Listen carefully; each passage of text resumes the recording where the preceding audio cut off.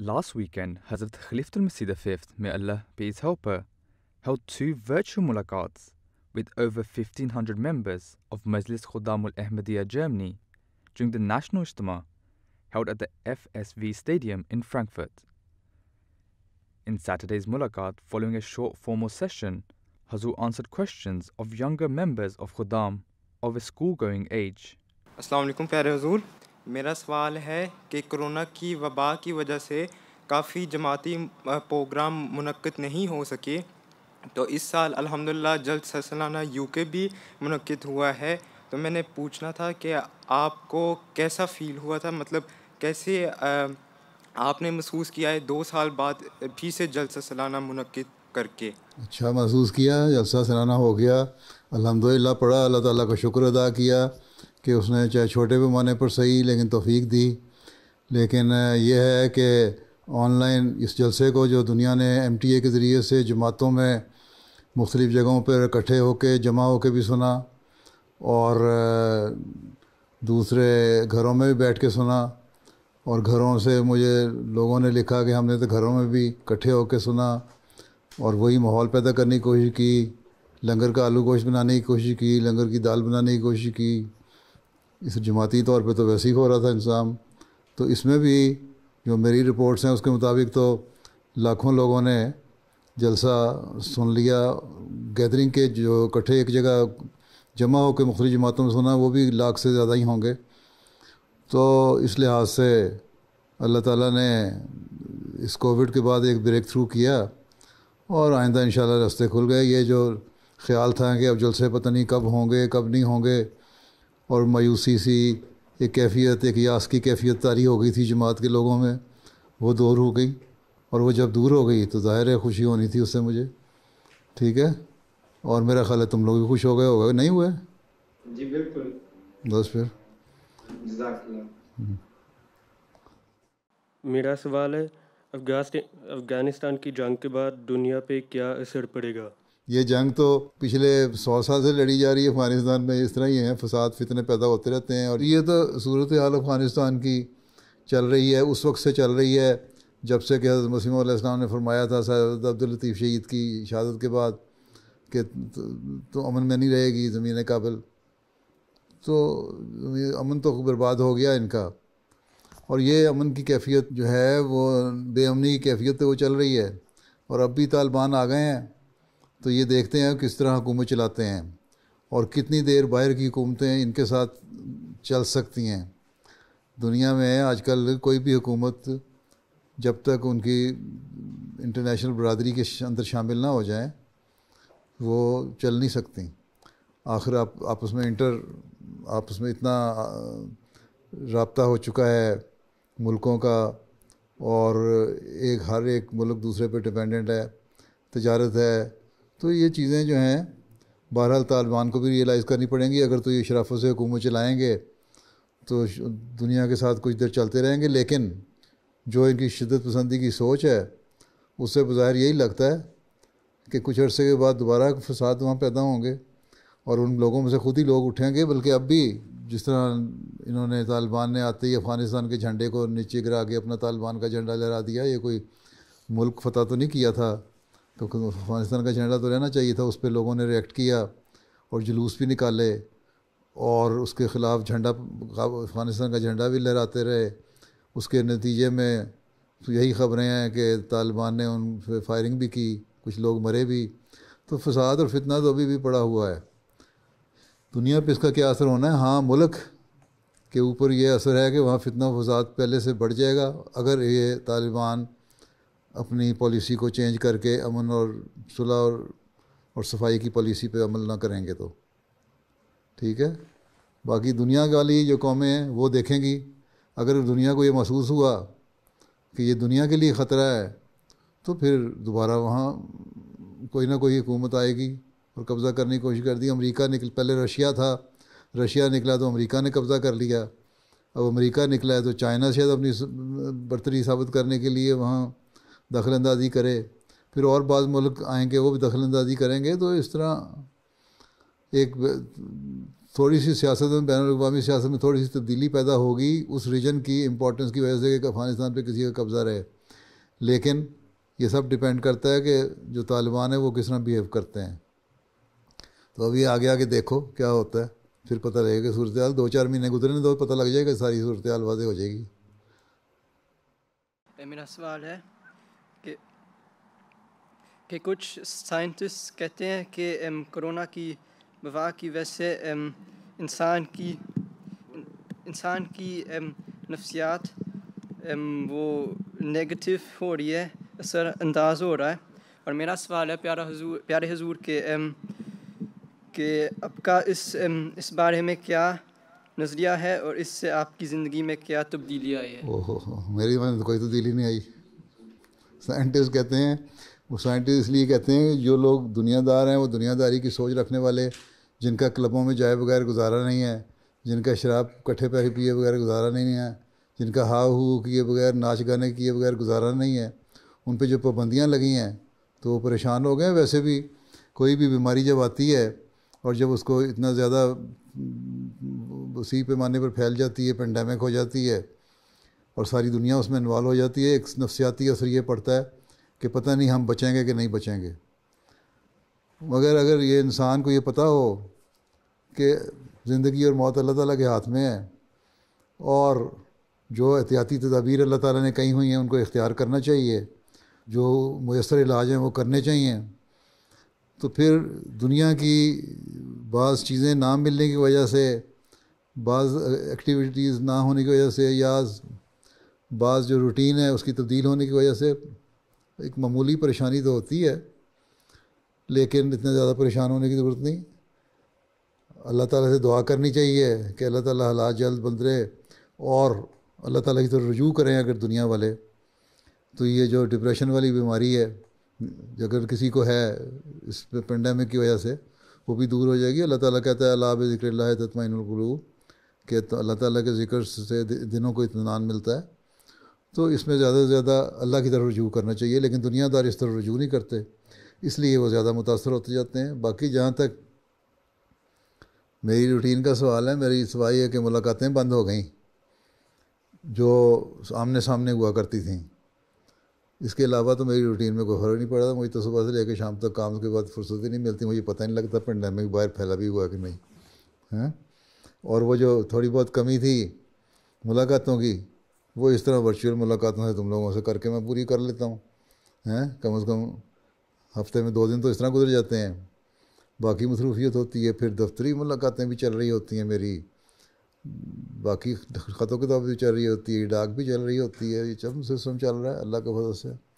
जमात अहमदिया के इतनी दुनिया में फैली हुई है, उसके कामों को देखना, निगरानी करना, वो वक्त का पता ही नहीं लगता किस तरह गुजर गया। बल्कि वक्त तो थोड़ा लगता है और काम ज़्यादा लगता है।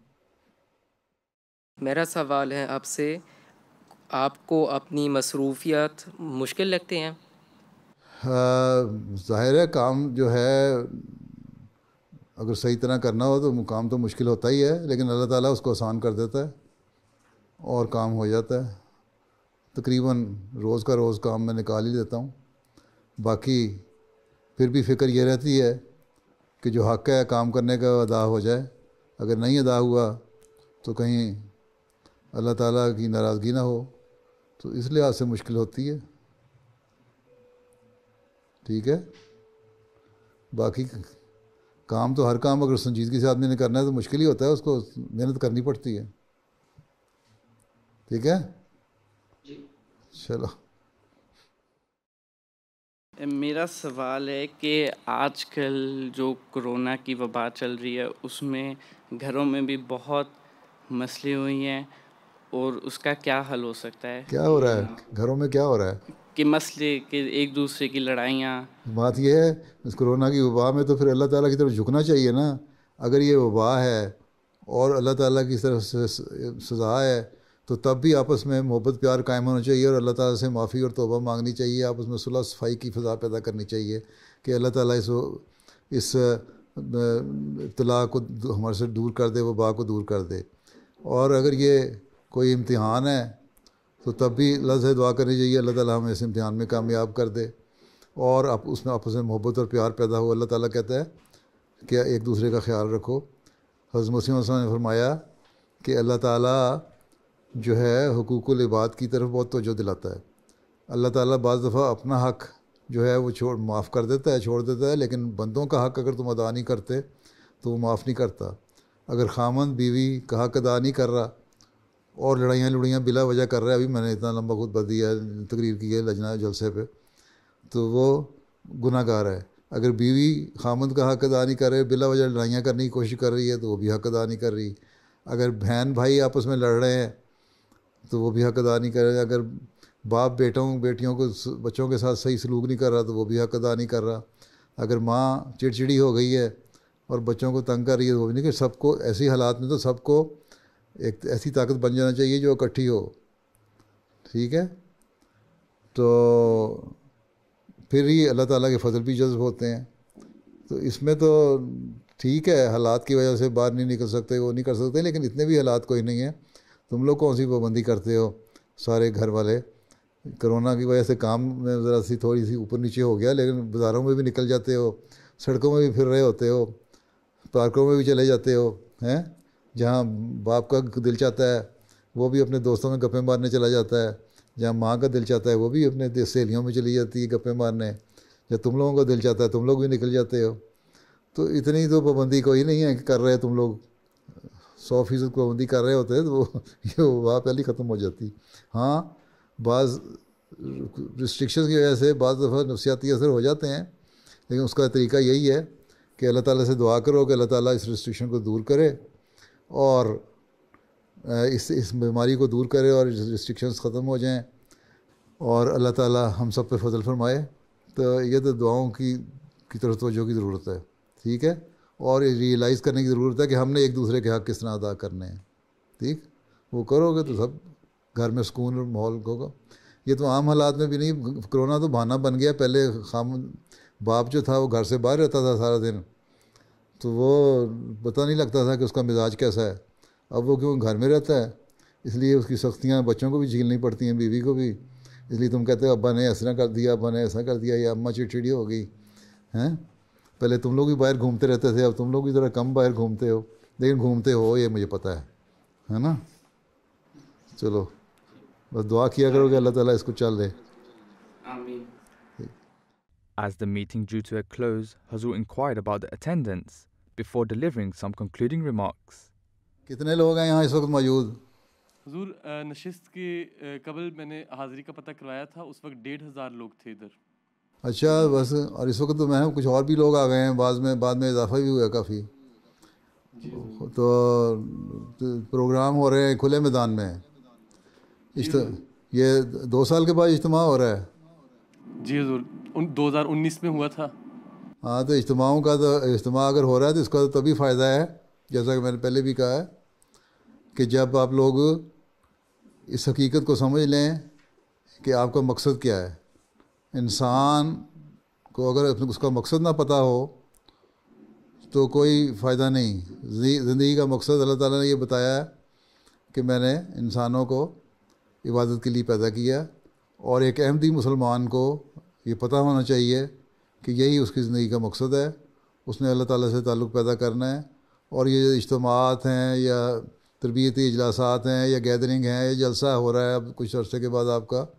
ये सब बातें इसलिए हैं ताकि इंसान की रूहानी अखलाकी हालत अच्छी हो, इल्मी हालत अच्छी हो। और इल्म हासिल करने के बाद अगर उसको अप्लाई नहीं करते अपने ऊपर, उस पर अमल नहीं करते तो इन जलसों का भी कोई फ़ायदा नहीं होता। इसलिए ये कोशिश करें, अल्लाह ताला इन सबको तोफ़ीक दे, यहाँ बैठे हुए हैं, कि जो कुछ यहाँ से सीखें, उस पर अमल करने वाले हों। अपने अल्लाह ताला से ताल्लुक़ में मजबूती पैदा करने वाले हों, तकवा के मैार को बढ़ाने वाले हों, नमाज़ों के तरफ़ तोजो करने वाले हों, यही एक अहमदी की ख़ास निशानी है और यह होनी चाहिए। अपने अखलाक अच्छे हों, ताकि दूसरे भी देख के आपको ये कहें कि हाँ ये लोग ऐसे हैं कि जिनके आला अखलाक ने हैं और ये लोग हकीकी मज़हब की तस्वीर पेश करते हैं। अब गुजशत दिनों जर्मनी में सैलाब आया और सैलाब के दिनों में खुदा ने बड़ी खिदमत की है और लोगों ने आपकी खदमात को बड़ा सराहा है। अल्लाह ताला उन सब खुदाम को भी जजा दे जिन्होंने खिदमत की और इसका नेक असर भी दुनिया लोगों पे पड़ा। अब नेक असर सिर्फ़ दुनियावी लिहाज से ना हो, बल्कि दीनी लिहाज से भी नेक असर होना चाहिए। और उन्हीं इलाकों में फ़ायदा उठाते हुए आप उस, वैसे भी जाते रहें। वहाँ अब खिदमत एक दफ़ा कर लिया वहाँ प्यार और मोहब्बत और अमन का पैगाम भी पहुँचाते रहें, ताकि वहाँ से आपके रबते वसी हों। लोगों के दिल इस वक्त नरम है उस उन इलाकों में आपके लिए, और उसके, उनकी नरमी से फ़ायदा उठाएँ। और यही एक हकीकी मोमिन की निशानी है कि वो हर मौके पर अल्लाह ताला की तोहहीद को कायम करने की कोशिश करता है और इस्लाम के हकीकी पैगाम को पहुँचाने की कोशिश करता है अल्लाह ताला आप सबको इसकी तोफ़ी अता फरमाए अल्लाम अल्लाह हाफिज़ The following day, Hazur Anwar, may Allah be his helper, once again virtually graced the National Ijtima with his presence, and students in higher education had the chance to ask Hazur questions. Prior to the questions, Hazur spoke to the Sadr Khuddam about the weather conditions. सदर साहब कल आपके एक लड़के ने कहा था गर्मी बड़ी है ठंड हो जाए आज बारिश शुरू हो गई है तो अब मुश्किल पड़ गई पीछे बैठे छतरियों पे छतरियाँ खुल रही हैं। और आपने बगैर बरसाती के बगैर छतरी के बैठे हुए हैं अगल, अगलों को बारिश नहीं पड़ रही? हजूर अभी तो कि, किसी किस्म की दुश्वारी नहीं है और इंशाल्लाह हम बैठे रहेंगे। बारिश जैसी भी होगी इंशाल्लाह। अच्छा। जी छोटे छोटे वो प्लास्टिक की जैकेट्स दी हैं। अगर बहुत ज़्यादा होता है लेकिन मेरा ख्याल उसकी अल्लाह ताला करे ज़रूरत नहीं पड़ेगी। अभी अभी अभी थोड़ी थोड़ी फुहार पड़ रही है। जी हजूर। और अल्हम्दुलिल्लाह अच्छा महसूस हो रहा है। अच्छा चले फिर उस उस लड़के की दुआ कबूल हो गई है। कभी कहता था दुआ करें कि बारिश मौसम अच्छा हो जाए अब। देखते हैं कितना सफ़र है मौसम अच्छे में। अच्छा क्या कहते हैं अब? अक्सर रहनमाई चाहता है कि हज़रत मसीह मौदलाम ने जो काबल के मतलब पेशगोई फरमाई थी, जिस पर प्यारे आका ने कल रोशनी भी डाली है। अब पूछना ये है कि क्या सरजमीन काबल को कभी अमन नसीब होगा और कैसे? सरजमीन काबुल में अमन होगा होगा उस वक्त, जब ये लोग खुदा ताला की रजू करेंगे और खुदा ताला के फरिस्तादे की बात को सुनेंगे। ठीक है? और जो उन्होंने जुल्म किए हैं, उसका मदावा करेंगे। और उसका मदावा यही है कि अल्लाह ताला ने इस ज़माने में जिस इमाम को भेजा है, आ हज़रत सल्लल्लाहु अलैहि वसल्लम के जिस ग़ुलाम को भेजा है कि दीन की, को नए सिरे से की इशात करे और दुनिया में फैलाए, उसको मानेंगे तो फिर अमन दुनिया में कायम होगा। और यही शर्त काबुल के लिए है। नहीं तो इसी तरह लड़ाइयाँ और फसाद और झगड़े होते रहेंगे। और ये उमूमी तौर पर मुस्लिम उमा का भी यही देख लें, यही हाल है। तो जब अल्लाह ताला की बात को ना माने, अल्लाह ताला की बात को ना सिर्फ़ ना माने नहीं, बल्कि उसकी सख्त मुखालफत भी करें, नफ़ी भी करें, और अपना दीन, अपनी मर्ज़ी का दीन फैलाने की कोशिश करें, कहीं ब्लास्फेमी ला को कहते हैं कि ये होता है, कहीं अपोस्टेसी ला कायम कर देते हैं, कहीं अपनी मर्ज़ी से कुछ और कर देते हैं। कहते ये हैं कि हम जुल्म नहीं करेंगे। कुरान शरीफ में तो अल्लाह ताला ने लिखा है कि एक मोमिन की जान, एक कलमा गो की जान लेना बगैर, जो है, वो तुम्हें जहन्नम में लेके जाएगी। ये कलमा गो की मारते चले जा रहे हैं। अब यहाँ जो हुआ, इनकलाब जिसको कहते हैं ये, कि हमने फ़तह मक्का का जैसा इनकलाब पैदा कर दिया। यहाँ कौन से काफिर थे? वो तो मुसलमान हैं जिन पर कब्ज़ा किया तुम लोगों ने। फ़तह मक्का कहाँ से हो गई? तो इस तरह तो फिर अमन कायम नहीं होता। अल्लाह ताला के हुक्मों को तो मानना पड़ेगा। अल्लाह ताला की बातों को मानेंगे तो अमन होगा। अल्लाह ताला के भेजे हुए की मुखालफत को बंद करेंगे तो अमन कायम होगा। और हमारा काम यही है कि इस पैगाम को पहुँचाते रहना और कोशिश और दुआ भी करते रहना कि अल्लाह ताला करे कि इन लोगों को अकल आ जाए और ये मानने वाले हों, ये कम अज़ कम अपने रवैयों को ख़त्म ठीक करने वाले हों, जुल्मों को ख़त्म करने वाले हों, फिर भी अमन की कोई गुंजाइश है और फिर अल्लाह ताला माफ़ करने वाला भी है, माफ़ करता है। ठीक है? खाकसार का सवाल ये है कि जर्मनी में कुछ माह में पॉलिटिकल इलेक्शंस हैं। जिसकी वजह से एक बड़ा पॉलिटिकल चेंज आएगा क्योंकि इस वक्त की चांसलर फिर से मुंतखब फिर फिर वो रिटायर वो रिटायर हो रही है इसलिए वो दोबारा नहीं आएगी हैं? जी हजूर। तो उसकी पार्टी अगर जीत जाएगी तो पॉलिसी तो वही रहेगी। अच्छा सवाल करो। हजूर सवाल यही था कि इस बारे में आपकी क्या राय है? अगर अगर उसकी पार्टी जीत जाएगी तो पॉलिसी तो वही होती है पार्टी की तकरीबन। थोड़ी बहुत बातें होती हैं जो चांसलर अपनी मर्ज़ी से कर रहा होता है हैं? अगर दूसरी पार्टी आएगी तो उनकी भी पॉलिसी सुमई हुई हैं सिवाय जो एंटी इस्लाम पार्टियाँ हैं हैं या फार राइट के पार्टियाँ हैं जो राइटिस्ट हैं अगर वो आते हैं तो फिर मुसलमानों के लिए मसाइल पैदा हो सकते हैं लेकिन मेरा ख़्याल में जर्मनी में बेशक मुसलमानों के ख़िलाफ़ एक चीज़ या गैर गैर गैर मुल्कियों के ख़िलाफ़ एक एक ऐसा जज्बात पाए जाते हैं, एहसास पाए जाते हैं ख्याल पाए जाते हैं, लेकिन उसके बावजूद जो फार राइट पार्टियाँ हैं, वो नहीं जीतेंगी। मेरा ख्याल यही है। और सुमोई हुई पार्टियाँ ही जीतेंगी। अब ये कहते हैं ओवरवेलमिंग मेजॉरिटी कोई एक पार्टी ले जाए और अपनी हुकूमत बना ले, अल्लाह बेहतर जानता है, क्योंकि मैं ज़्यादा पॉलिटिक्स जर्मनी की पढ़ी नहीं। और या फिर दो पार्टियाँ ऐसी जो करीब करीब जिनका मैनिफेस्टो करीब करीब ख्याल रखते हैं, उनके वो आपस में जॉइंट एक हुकूमत बना लें। लेकिन बहरहाल, मेरा ख्याल यही है, चाहे थोड़ी मेजॉरिटी से जीते, जो भी पार्टी आएगी, हुकूमत बना ही लेगी अपनी, जहाँ तक बज़ाहिर नज़र आ रहा है इस वक्त। लेकिन जो शिदत पसंद लोग हैं, जो गैर मुल्कियों के मुखालिफ हैं या मुसलमानों के मुखालिफ हैं, उनकी हुकूमत बनने के बज़ाहिर इम्कान कोई नहीं हाँ। हो सकता है बाद सूबों में थोड़ी बहुत उनकी इतनी से हो जाए कि जिसका असर कायम हो सके, लेकिन बज़ाहिर यही लगता है कि जान बख्शी हो जाएगी आप लोगों की, लेकिन बशर्ते कि आप लोग भी अपना किरदार अदा करें। और मुसलमान होने का जो हक़ है वो अदा करें, एक अहमदी मुसलमान होने का। और दुनिया को बताएँ मुल्क को बताएँ कि असल इस्लाम की तालीम क्या है। आहिस्ता आहिस्ता जो भी शुभात हैं रिजर्वेशन हैं तहफ़ात हैं इनके दिमागों में उनको दूर करें। ठीक है? सवाल मेरा ये था हजूर कि अगर इन आपको दोबारा मौका मिले रबा वापस जाने का तो वो कौन सी जगह होगी जहाँ पे आप सबसे पहले जाना पसंद फरमाएँगे? तो मुझे मौका मौका पैदा करवा दो। फिर मैं तुम्हें साथ ले जाऊँगा खुद ही देख लेना जाके। हैं? हजूर हमारी आपके साथ हैं इंशाल्लाह तो आपको मौका मिले। ज़ाहिर ज़ाहिर है कि पहले इंसान जब रवा जाता है तो जो हम बुज़ुर्ग हैं जो जिनको हम छोड़ के आए और जो वहाँ रहे जिन्होंने रबा और रबा बात किया उनकी यादें ही रबा से पहुँचता है। तो अमूमन फिर यही होता है कि पहले इंसान जाता है तो उन बुज़ुर्गों के मज़ारों पर, उनकी कब्रों पर हाज़िरी दे के दुआ करता है उनके लिए। और फिर पूरे शहर के लिए दुआ करता है। और फिर अपने कामों में मसरूफ़ हो जाता है।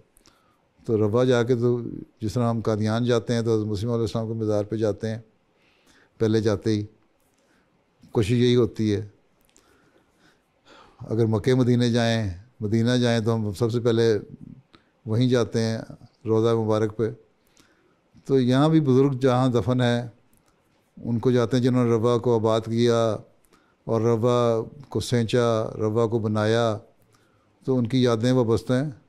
तो पुराने बुज़ुर्गों की यादें ताज़ा करने के लिए और उनकी दुआ करने के लिए अमूमन तो यही होता है कि वहाँ जाया जाए। ठीक है? बाकी हालात क्या होंगे उस वक़्त, जब होंगे तो देख लेंगे। और अगर मौका मिले तो साथ आ जाना मेरे। जजाकल्ला हजूर मेरा सवाल ये है कि अगर ख्वाब में कोई खलीफा नज़र आए तो क्या इससे ये तबीर की जा सकती है कि ये सच्ची ख्वाब है? ये तो पता नहीं सच्ची ख्वाब है कि गलत है। आदमी सोच सोच के भी हो जाता है लेकिन नामों की तबीर होती है। कि नाम खुलफा है जो है उनके नाम भी अच्छे हैं और नेक ख्वाब है और नेकी की बात कर रहे हैं तो वो सच्ची ख्वाब होगी और उसके, उसका अगर, ये तो सियाको सबाक से पता लगता है। आगे पीछे जो ख्वाब के है, वो क्या है, किस तरह की है, मुख्तलिफ़ ख्वाबों की मुख्तलिफ़ तबीरें होती हैं। सिर्फ़ एक चीज़ को देख लेना तो बात नहीं है।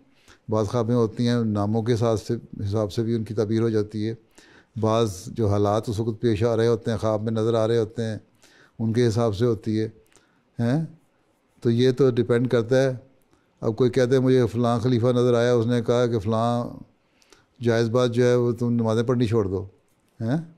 तो वो तो जायज़ नहीं है। वो एक लतीफ़ा है हमारे एक बुज़ुर्ग होते थे।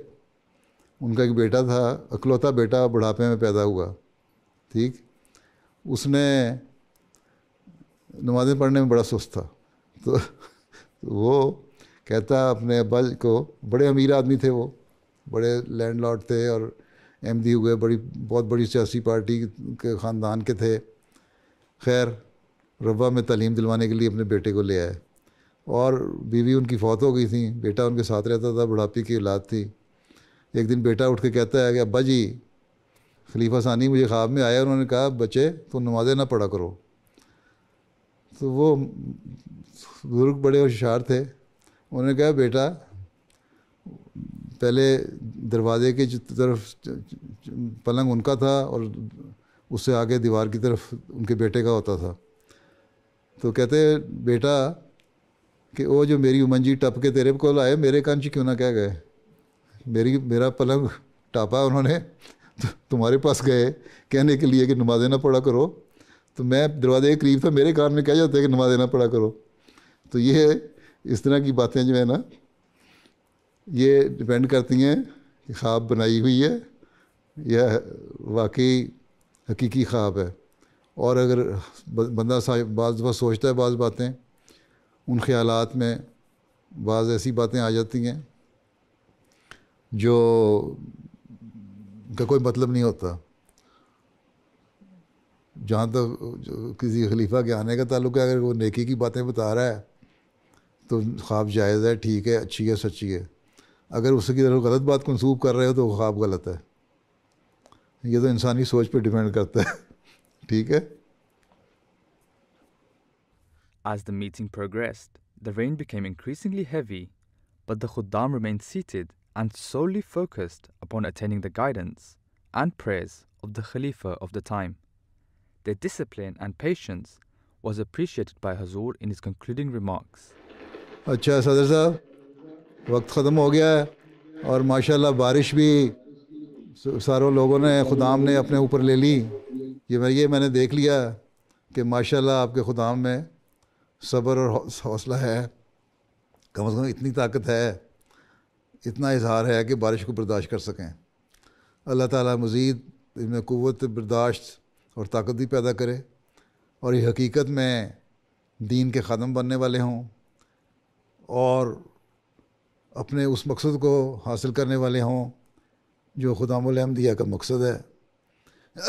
और जो अहद बांधते, करते हैं ये हमेशा कि हम दीन को दुनिया में मुकदम रखेंगे, उस पर अमल करने वाले हों, और खिलाफत की हिफाजत करने वाले हों, और अपनी तमाम तर सलाहियतों के साथ इस बारे में कोशिश भी करें, अपने दीनी इलम को भी बढ़ाएँ, और इस्लाम और अहमद पैगाम भी अपने मुल्क में फैलाने वाले हों। अल्लाह ताला अब सबको इसकी तोफ़ी अता फरमाए। जजाकल्ला हाँ किस कह रहे हैं सदर साहब? जी हजूर एक हजूर की खिदमत में एक दरख्वास्त थी। हमारे इज्तम की तमाम सरगर्मियाँ अब मुकम्मल हो चुकी हैं। अलम अलम अलम अलम इनामी में देख रहा हूँ तो मुझे नज़र आ रहे हैं अलम इनामी वो आप तकसीम कर देंगे। मैं तो हाथ हाथ बढ़ा के टी वी स्क्रीन के अंदर से हाथ बढ़ा के अलम इनामी पकड़ा नहीं सकता। जी प्यारा का। हाँ क्या कहना चाहते हैं आप? अगर प्यारा का अपनी शफकत की नज़र उन खुदाम पर जिन्होंने इनामात हासिल किए हैं मुख्तसर सा अगर एम टी उनको दिखा दे एक दफ़ा। हाँ दिखा दो शफ एम टी ए शफकत की नज़र डाल ले एम टी अलम नामी पकड़ने वालों पर हाँ। ये कौन कौन सी जो कौन कौन सी मजालस हैं जिन्होंने नामी खुदाम में किसने लिया है? ये हजूर मजलिस मिनस्टा ने लिया है खुदाम में। कितनी? अठारह और उन्नीस का। अच्छा माशाल्लाह। और अथवालमदिया का हनोवर में हनोवर मजलिस है जिसने अलम नामी लिया माजरत से गलती थी। हाँ। हनोवर की हनोवर ने लिया है? आपका दूसरी मस्जिद को देने का इरादा था पर आपकी कमेटी ने हनोवर को दे दिया। है? अच्छा। हजूर दो साल के इकट्ठे हुए हुए तो उसमें अच्छा। थोड़ा सा खलत मलत हो गया था। और दूसरा अलम नामी किसका है?